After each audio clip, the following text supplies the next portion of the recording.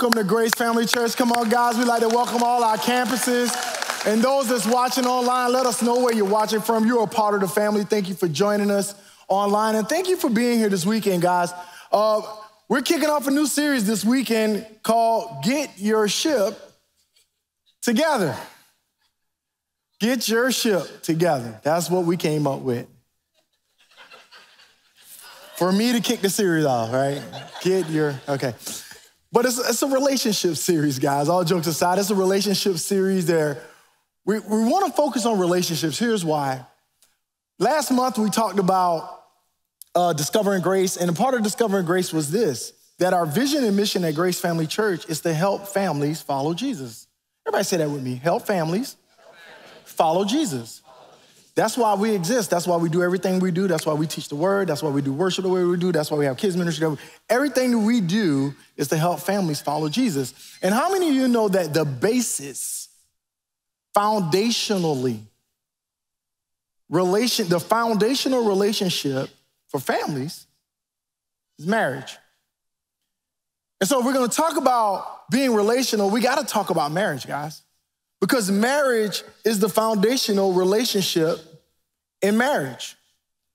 And I was wondering, like, God, why in the world would I be the person to be up here? Because last week, my wife and I had an argument in the parking lot. And I was like, she was like, Yeah, you can tell everybody about the argument. It's okay, Ralph, because it's good marriage material. So if you're married in here, you realize that we argue sometimes. If you're married in here, you realize that sometimes, man, we, we kind of don't honor the way that we should, and we may not pay all the respect that we should. And sometimes we're in our flesh or we're in our sinful nature and we're burned out, and we, for whatever reason, sometimes we may not be doing the right things that we should. In fact, I would look around the room and online and say this any perfect people in the room? You came to the wrong place. Because we're all imperfect. And you take two broken people, two imperfect people, and put them together, what do you have? An imperfect marriage. And I can tell you about imperfect marriages because mine has been one from the beginning. I remember getting on 1D and asking my wife to marry me. And she waited. And she waited. And I'm so glad that we didn't have like that engagement thing where they come with the camera and she said yes, and everybody, like because she waited like 20 minutes before she said yes. She had to think about it because I can honestly say I wasn't marriage material when we met. In fact, to the point that we had our wedding 30 years this April. We had our wedding, yeah, man, 30 years this April. And everyone was like betting that we wouldn't make it. The, the line was like, hey, I give them five months. I give them a year. Them jokers ain't gonna make it past the honeymoon. I put my money on it. And I'm like, I didn't know about it until later, but I'm like, wow, but I understand because we were extremely imperfect and neither one of us had a relationship with God and we both came from broken homes. And so the percentage or the, uh, the, the likelihood that we would be successful was very, very low. But marriage takes work, guys, but it's worth it. Marriage takes work and it's worth it. And so our purpose today is to help our family. Everybody say, I want to help my family follow Jesus. And marriage plays a role in that. And so you might be here and you're saying, man, Ralph, I'm single. Um, you know, this, you can just kind of skip me with this one, or maybe I've been divorced, but you never know what God is going to bring back into your life. I was talking to one of my single friends earlier. He was like, Ralph, don't forget us, man. I'm, I'm getting up in age, but I'm waiting on Mrs. Right because I love the Lord and hopefully one day I can get married. So this message is relevant to you no matter what stage you're in. And so because we're broken people, you know, on that night when we got married, everybody brought us presents. You know, they give you pots, the pans, the dishes, and all the stuff, and they brought all the stuff, and we opened every single gift except for the gift that God gave us. We didn't even talk about what marriage was until like three or four years later. And so we started to unpack this box after we got saved. And Tracy got saved first, and then I followed a few months later, and we started to open the box and say, God, what is marriage all about? And we started to unpack everything. And we started to get all these pieces together. And anytime that you put something together, you take it all out of the box and you set it aside and you grab your manual, your instruction manual. And I want you to grab your instruction manual. Come on, everybody, grab your instruction manual. And you're gonna bring this back every week because it's gonna tell us how to build marriages. But this weekend, we're gonna talk about marriage. And you know one of the first things it tells you when you read the instruction manual? Read the instruction manual. Now, if you're me, you look at that bed and you're like, man, I can do that. I don't need no man. Forget that. But my wife would come by and she'd say, Ralph, and I have all the pieces there and I'm trying to figure it out on my own. She's like, have you read the instructions? And I think that's what God says to us.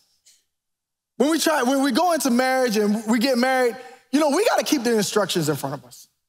We got to keep what God says about marriage in front of us. In fact, God says this about marriage, and, and many of us start uh, in a broken place like we started. You know, in a broken place means that we're, we're a fallen people in a fallen world. We're broken people, guys. And here's the reality of it. What God says about us when anybody remember Adam and Eve in the garden? Y'all remember that story? And Adam and Eve, they were in the garden and, and, and God created everything and he did his thing and he created man and woman in his image and likeness. In fact, right here, write this down. Write down Genesis 1 through 3. You want to read that? That's your first homework assignment on marriage. Read Genesis 1 through 3. But he creates everything and he tells the man, he says, Listen, I'm going to create you and I'm going to pluck you out of eternity and place you in a garden. Your garden is your marriage, it's your family. And he says, I want you men, I want you to serve and protect in that garden. And ladies, when you came to the beautiful conference, you heard a great message on being Ezer Kenegdo. And Ezer Kenegdo, ladies, means that you're a helper or an aid that's suitable for the man. And suitable means this Kenegdo, that means you're in front of him. So you're side by side and in front, side by side and in front. Now, watch this, meaning you're face to face. Men, she's designed to be in your face. That's why she's always in your face.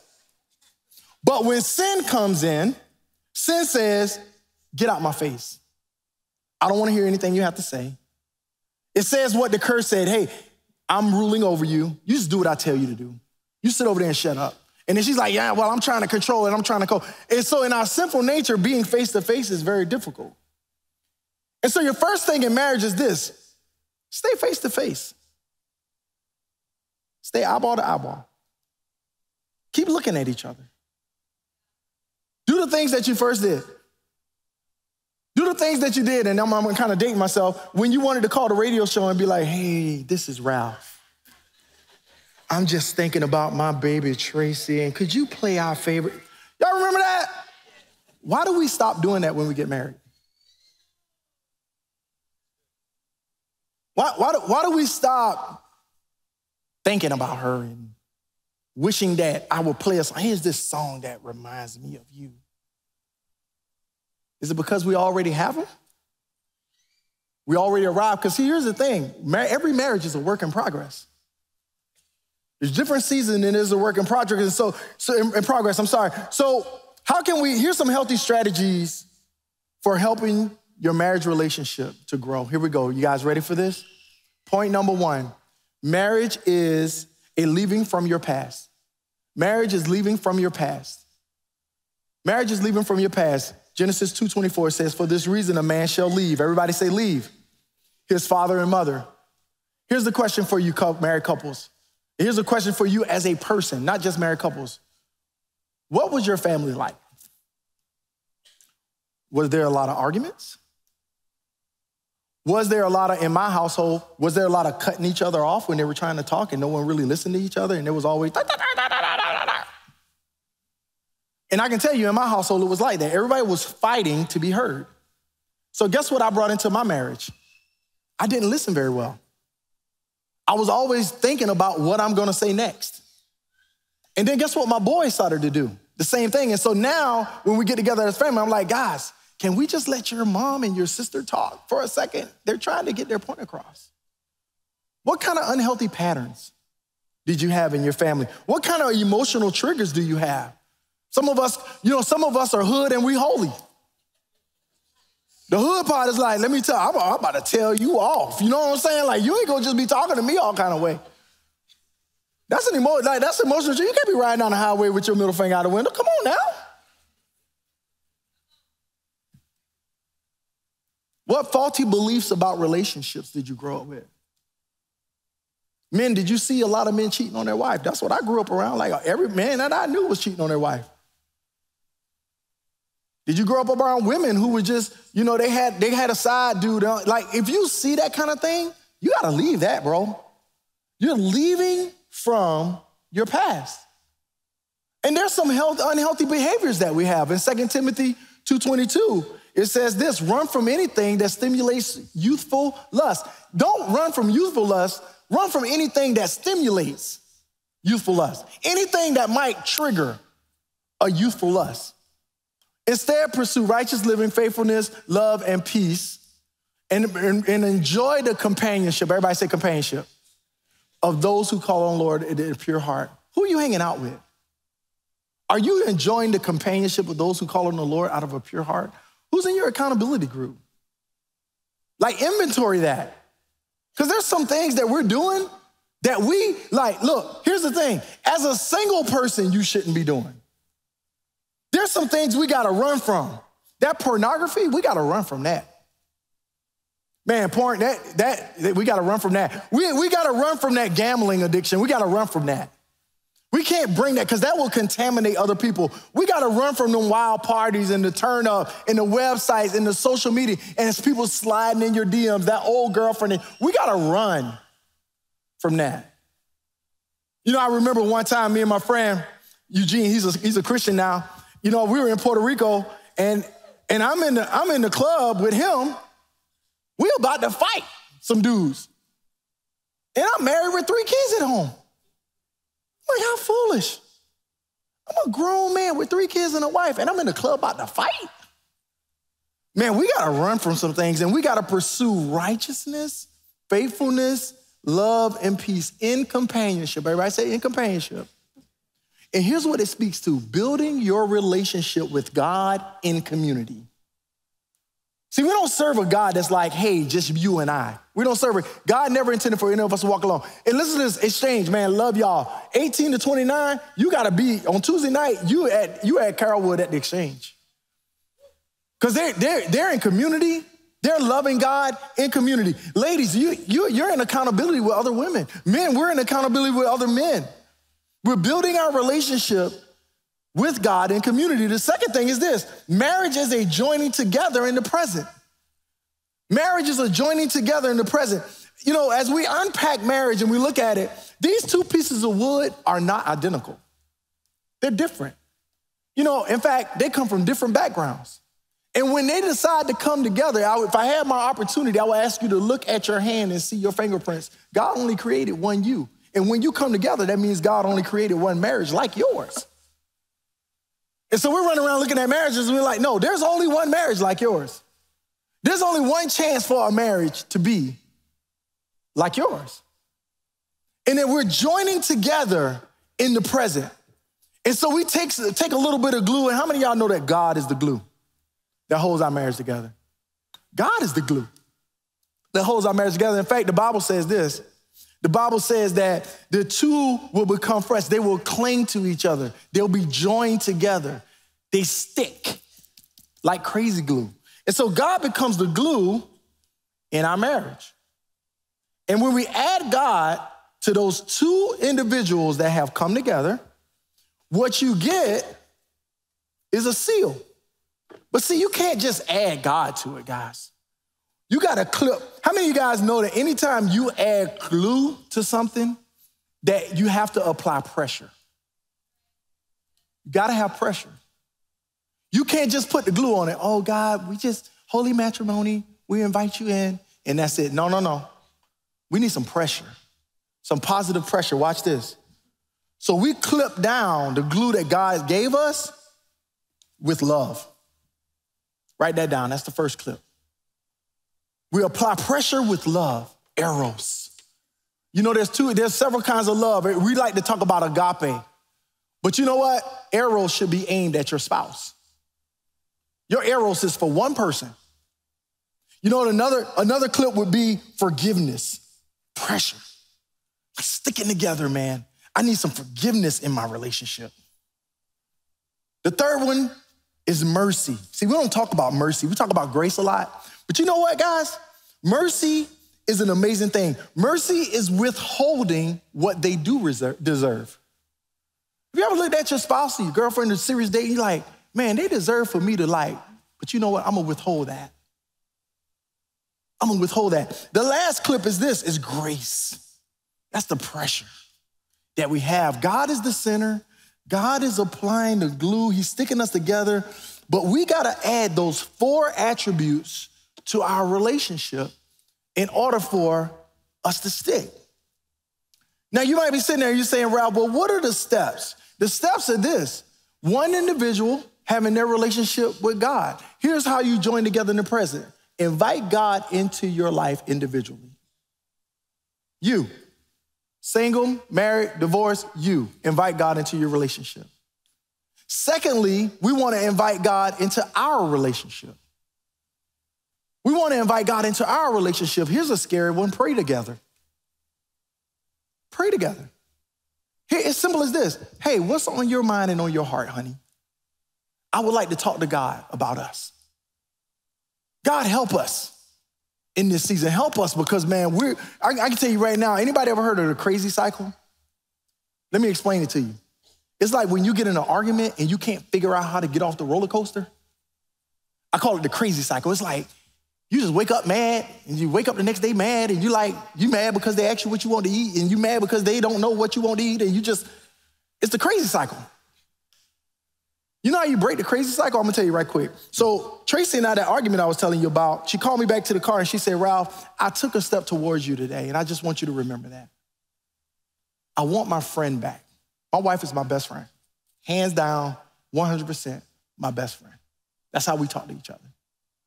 But my heart was so hard, I couldn't even accept what she was saying. And I can't even tell you right now what I was upset about. I, I don't even remember. And I went upstairs. You were here at the church. Ray, your pastor. Yeah, me. I went upstairs and I was like praying. I'm like, God, why is my heart so hard right now? What's wrong with me? Help me, God. And I text her and apologize. I'm like, babe, I don't know. And she's like, I'm praying for you. That's all she said. And it wasn't even an hour, guys, and something broke in me. Like, and I just started to weep. I'm like, God, you know what, man, what's wrong with me? Help me, God. I want to reconcile. I want to get this right, but I don't know. I'm still upset. Would you help? And something broke. And I FaceTime. I was like, Did you really pray for me? She was like, Yeah, I prayed for you. Because see, here's the thing when your spouse is going through something, man, you got to hit your knees and call out God to help them out. And I'm telling you, I'm a witness. Like, we, we don't get it right all the time. Man, is your first call to God or is it to your mother in law or your mom or your dad? I'm coming back home. No, man, maybe we need to call out on God. Be like, God, you know what? I need you to move right now. I need you to move in this in his life or her life. It's the joining together in the present. And you know what? I, used to have a coach that says this. He says, know your role and do your job. Know your role and do your job. Now, I'm not gonna attempt to tell women what they should be doing in marriage because I don't want that heat from y'all. But as a man, here's what the Bible says. In Proverbs, it says, when a man finds a wife, he finds a good thing and obtains favor from the Lord. So even on a bad day, my wife is my good thing. She's attached to my relationship with God. Here's what the Bible says Rejoice with the wife of your youth if the Bible says rejoice with the wife of your youth, meaning that our, our relationship be, should be one of longevity, we should continually, I should continually rejoice with her and be excited to see her and excited, have joy when I see her. It says in Job 31, and this is one of my favorite verses make a covenant with your eyes that I might not lust after a young woman. God has called me as a man, as a husband, not to stare at women, to bounce my eyes. Bro, you can't window shop. I can't window shop. Here's why you can't window shop because what you dwell on, you're drawn to. So if you dwell on your wife, guess what? You be drawn to her. The Bible tells me in 1 Peter 3 7, dwell with my wife with understanding so that I can be, so that we are co heirs, heirs of the grace of life together, so that my prayers won't be hindered. You want to hinder your prayers? Just start treating your wife a certain way. Because unless the Lord build a house, those that labor, labor in vain. See, God builds the house when He's the center and it's attached with love, grace, mercy, and forgiveness. So, how do we communicate? We're face to face. I'm gonna give you an acronym TPA. Everybody write this down TPA. TPA. We wanna communicate at the right time. Everybody say time. Right place. Everybody say place. With the right attitude. TPA. Time, place, attitude. The right time, the right place, the right attitude. And we can talk face to face. It's funny. We were in our marriage group the other day, and I was like, oh, yeah, Tracy and I, we love to talk in the morning over coffee. And she was like, nah, not really. I was like, what do you mean? I'm enjoying us talking in early over coffee because I'm an early riser. She was like, nah, I'm, sleepy, bro. But you know what she enjoys? When we get in the car and we just go for a ride. And there's no distractions. And all we can do is focus on each other and just ride around, just ride. All over the St. Pete, all the way back, just, just kind of just ride around talking to each other. I don't know what your deal is, but here's the thing. Y'all face to face talk to each other. Ask her. Ask him, what's the right time, place, and attitude? And if you're struggling with your communication at Grace Family Church, we have some resources for you. And I, I did a poll. I asked the, the, um, the, the pastors, and I was like, guys, what are people struggling with? You know what they said to me? Most marriages just need somebody to talk to. They don't even need counsel. They just need somebody that they just that's gonna listen to them. Do you know you can get that at home builders? Like you just sit at a table with people that's just like you, that's imperfect, and just say, man, you know what? We're struggling right now. What are y'all doing to, to, to help out with that? We got communication reset. Maybe you got to re- reset the way that you talk to each other. Maybe you got some baggage that you're bringing in. Or marriage intensive. I encourage you to go to the website. I encourage you to text the word connect to 1313 and figure out what we have for you right now. Because in Ecclesiastes 4, 2, 4, 4:12 it says this, a person standing alone can be attacked and defeated, but two can stand back to back and conquer. There's even bet there are three are even better, for a triple braided cord is not easily broken. Man, your marriage, I mean, y'all on the same team. Like we're in together. We're, we're, we're in this together. Last but not least, marriage is a becoming one for the future. Marriage is becoming one for our future. Now, here's the interesting thing. I think I skipped the second verse, but here's the interesting thing. The interesting thing is this is that Ephesians 5 31, 33 says this as the scriptures say, a man leaves his father and mother and is joined to his wife, and the two are united into one.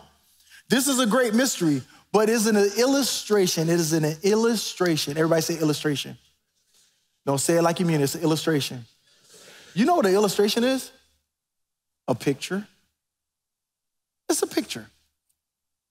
It's a picture of the way that Christ and the church are one. So I say again, each man must love his wife as he loves himself, and the wife must respect her husband.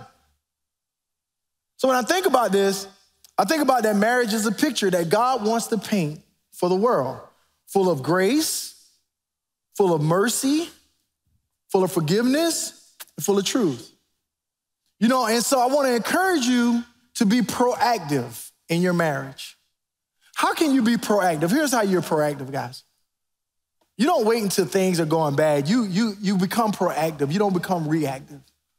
Here's a suggestion go to a marriage retreat every year, invest in your marriage. In fact, if you could grab your books and you look at this QR code on the back, you can scan this QR code, and we have a marriage retreat coming up in August. You can set the date right now this weekend. In fact, ladies, I give you permission. Make sure the date is set before the Super Bowl tomorrow. Just stand in front of the TV and hold this up. Like, you know what I mean? Don't do that. Guys, don't get mad at me. But no, set the date now. Here's the thing. How often, Tracy and I, we, we, we're spontaneous. We don't, we're empty nesters and we can kind of come and go. But do you have a date night? Do you have a time where, no kidding, you're going on a date together? Some, it's weird that we get married, we stop dating. That's what got you married. That's, that's what got you there. Do the things that got you there. It's that simple. How about this? How about going somewhere overnight? Hang out overnight. Last time we went somewhere, guess where we went? Tampa. We live in Land O' Lakes, So we went out of town to Tampa. we had a great time. Like, go somewhere and enjoy. Like, that's the stuff you did when you were dating. Figure out how to go on a trip together. Explore some things. What is she like? What do you like? Like, keep it fresh and keep connected and stay connected. Be proactive in your marriage. You know, this past week, we had 448 couples show up for home builders at all our campuses. 448 couples. Almost 900 people showed up and said, Man, I'm here to work on my marriage. And maybe, maybe, and here, we have pre marriage as well. So we have, if you're seriously dating, we invite you to come on out because you're in community. Like we desire and we desire to help your marriage grow, to help your family follow Jesus. And if we help your marriage, we're gonna help your family follow Jesus. That's the goal. And if you didn't come this weekend, guess what? This past week, I'm inviting you to come out this week. There's still room for you. I don't care what campus it is, still room for you. Maybe you need communication reset. Maybe you need marriage intensive. No matter what you need, talk to your campus pastor, pull someone aside and say, hey, look, man, I, I want to jump into this. Or maybe you're one of those marriages that's been around a long time. You got the bumps and bruises. You done been through it all. You done recovered from some stuff. You done, you done left your past and now you're joined together in the present. In fact, you're one of those people, like a, a couple I met the other day, you're one of the people that he, he kisses his wife every time he passes her in the house. Every time he, every time he walks past her, he kisses. I was like, bro, that's, that's next level right there. And they're retired. They stay in it, they're in it. Like maybe you're one of those, guess what? If you're one of those couples, we need you to be a table host and let some of us know how to do what you're doing. Because see, here's the reality of it. One day, all of us gonna leave this earth. And the forgiveness is gonna be gone. That gets us into heaven. The mercy is gonna be gone. That gets us into heaven. The grace is gonna be gone. That gets us into heaven. Mercy, grace, forgiveness will be gone. And all that'll be left of our marriage is the cross. Because it's an illustration of Christ in the church. It's two people that have committed themselves to following God, allowing Him to be the glue, walking in love, grace, mercy, and forgiveness. For my granddaughter Gigi, this is what I want to leave. Gee, would you just remember? Would you just remember that Papa and, and Nana trusted the Lord and that we believed in the covenant of marriage and that this represents the one you need to trust. And it wasn't perfect, baby. It wasn't perfect, but it was worth it. It's the only thing that God uses to illustrate what Jesus did on the cross for us.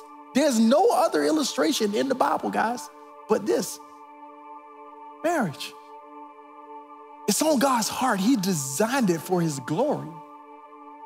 And so maybe you're here right now and you're saying, Ralph, you know what? I didn't grow up around that. I don't know nothing about that. But what I do know as an individual, I need to trust the one who died on the cross for me. That's where it all begins. That's when Tracy and I opened the box. We started out rough. And maybe you're in a rough spot. But today is the day where you're like, you know what? We're going to smooth this out and allow God to heal my individual life. So, would you bow your heads? All over Tampa, online. Man, today just might be the day that you take a step. Your next step will be your best step. And the best step that you could take is trust in Jesus Christ for eternal life. And so, as a community of faith, with every head bowed, every eye closed, and even online, I want us to pray this prayer together. Everybody say, Father God, I ask you today to come into my life, to be my Savior and my Lord. Forgive my sin. I place my faith in the finished work of Jesus Christ on the cross. Live in me by the power of your Holy Spirit and help me to live for you from this day forward. In Jesus' name, Now keep your head bowed. And if you're online and you made that decision, can you just put it in the chat? But at our campuses and on this campus, you say, Ralph, man, I committed or recommitted my life to Christ. Would you just put your right hand up in the air? I'm trusting Jesus Christ, man. Tonight I prayed that prayer for the first time, or maybe the la- there you go. I see you. Anyone down here on the floor? Amen. Amen. Come on, guys. Amen. Come on, guys. Let's give God some praise right quick.